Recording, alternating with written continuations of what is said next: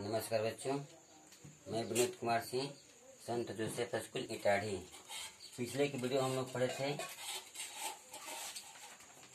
भारत का इतिहास, ठीक है? आज हम लोग पढ़ेंगे मध्यकालीन भारत, ठीक है? हम बताए थे कि पढ़ाएँगे आधुनिक भारत काल, लेकिन उससे पहले हम लोग पढ़ लेते हैं मध्यकालीन भारत, ठीक है? इसमें पहला आपका है, भारत पर अरबों का आक्रमण, ठीक है? भारत पर अरबों का आक्रमण कब कब किए थे? देखिए, हज़रत मोहम्मद की मृत्यु, किसकी मृत्यु? हज़रत हज़रत मोहम्मद की मृत्यु लगभग छह सौ बत्तीस ईस्वी के उपरांत। छह सौ बत्तीस ईस्वी के उपरांत, छह वर्षों के अंदर ही, कितने वर्षों के अंदर?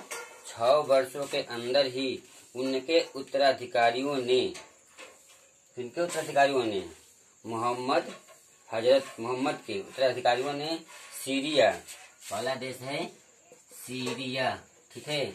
उसके बाद मिस्र, उत्तरी अफ्रीका, स्पेन एवं ईरान को जीत लिया। देखिए किन किन देशों को जीता है? हज़रत मोहम्मद तो हज़रत मोहम्मद जो है, सीरिया, हज़रत मोहम्मद ने सीरिया, ठीक है? मिस्र और उत्तरी अफ्रीका, स्पेन एवं ईरान को जीत लिया, ठीक है? उस समय, ठीक है? उस समय खलीफा साम्राज्य फ्रांस के लायर नामक स्थान से लेकर आक्सस एवं काबुल की नदी तक फैल गया। उस समय खलीफा साम्राज्य फ्रांस के लायर नामक स्थान से लेकर आक्सस एवं काबुल की नदी तक फैल गया। अपने इस विजय अभियान से प्रेरित अरबियों ने धन दौलत लूटने और इस्लाम धर्म का प्रचार प्रसार करने के लिए सिंध पर आक्रमण किया किस पर आक्रमण किया सिंध पर, ठीक है? हजाज के भतीजे, किसके भतीजे? हजाज के भतीजे एवं दमाद, मोहम्मद बिन कासिम। मोहम्मद बिन कासिम क्या थे? हजाज के भतीजे एवं दामाद थे। ने सत्रह वर्ष की अवस्था में, कितने वर्ष की अवस्था में? सत्रह वर्ष की अवस्था में लगभग सात सौ बारह ईस्वी में सिंध को जीता। सिंध को कब जीता? सात सौ बारह ईस्वी में। कितने वर्ष की आयु में? सत्रह वर्ष की आयु में, ठीक है? उस समय सिंध पर दाहिर का शासक था।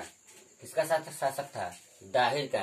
यानी कि दाहिर के शासक के समय मोहम्मद बिन कासिम ने सत्रह वर्ष की अवस्था में 712 ईस्वी में सिंध को जीता था। ठीक है, कासिम 715 ईस्वी में वापस अपने देश लौट गया। कासिम अपने देश कब लौटा? तो 1715 ईस्वी में। ठीक है, अरब वासियों ने, अरब वासियों ने चिकित्सा, दर्शन शास्त्र, नक्षत्र विज्ञान, गणित गणित में है दशमलव प्रणाली एवं शासन प्रबंध की शिक्षा भारतीयों से ही ग्रहण किया। किससे ग्रहण किया? शिक्षा भारतीयों से ही ग्रहण किया। ठीक है? उसी समय जब वो शिक्षा ग्रहण किए, उसी समय चरक संहिता एवं पंचतंत्र ग्रंथों का अरबी में अनुवाद किया गया। अरबी में अनुवाद किसका गया? चरक संहिता। तो लिखते हैं? चरक संहिता और पंचतंत्र। पंच तंत्र, जो ग्रंथ था, उसको क्या किया? अरबी अरबी में उसको अनुवाद किया गया। ठीक है? तो ये था मध्यकालीन भारत पर अरबों का आक्रमण के बारे में। अब हम आगे पढ़ते हैं थोड़ा सा।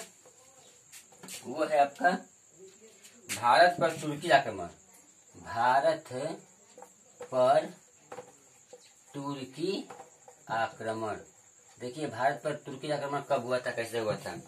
इसका है, तुर्कों ने भारत पर आक्रमण एक विशाल मुस्लिम साम्राज्य की स्थापना करने के उद्देश्य से की थी। तुर्की जो थे, भारत पर आक्रमण किए थे, किस उद्देश्य से? तो उत्तर हो जाएगा कि एक विशाल मुस्लिम साम्राज्य की स्थापना करने के, एक विशाल मुस्लिम साम्राज्य की स्थापना करने के उद्देश्य से क्या किया था? आक्रमण किया था। किस पे? भारत पे। भारत पर आक्रमण करने वाला पहला तुर्की मुसलमान। भारत पर आक्रमण करने वाला पहला तुर्की मुसलमान मुसलमान सुबुक्तगीन देखते यहाँ पे, सुबु तगीन लिखा हुआ है, सुबुक्त सुबुक्तगीन था। ठीक है? उसके बाद अगला हो जाएगा आपका कि गजनी साम्राज्य का संस्थापक।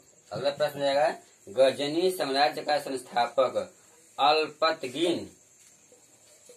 अल्पतगीन। एक नाम है। नामक एक तुर्क सरदार था। ये क्या था? नामक एक तुर्क सरदार था। अगला है आपका।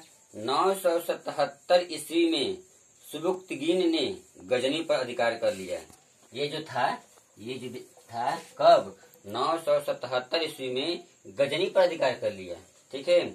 अगला है, उसने हिंदूवासी वंश के शासक, ये जो था सुबुक्तगीन क्या था? उसने हिंदू हिंदू शाही वंश के शासक जयपाल को किसको? जयपाल को क्या किया? नौ सौ छियासी ईस्वी में आक्रमण कर हराया। नौ सौ छियासी ईस्वी में आक्रमण कर हराया था। ठीक है? सुबुक्तगीन की मृत्यु के बाद, यानी कि जो अभी इसकी जो मृत्यु हुई, किसकी? सुबुक्तगीन की, उसकी मृत्यु के बाद उसका पुत्र एवं उत्तराधिकारी महमूद गजनी। कौन था? इसका पुत्र क्या था? महमूद गजनी। आप इसका नाम सुने होंगे। क्या था? गद्दी पे बैठा। ठीक है?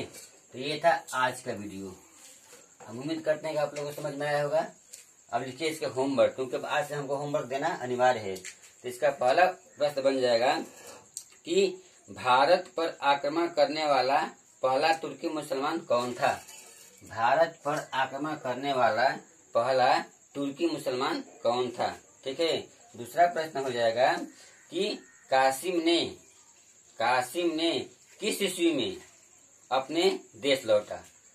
कासिम ने किस ईस्वी में अपने स्वदेश लौटा। ठीक है? ये दो प्रश्न आपका है। आज की वीडियो में इतना ही। धन्यवाद।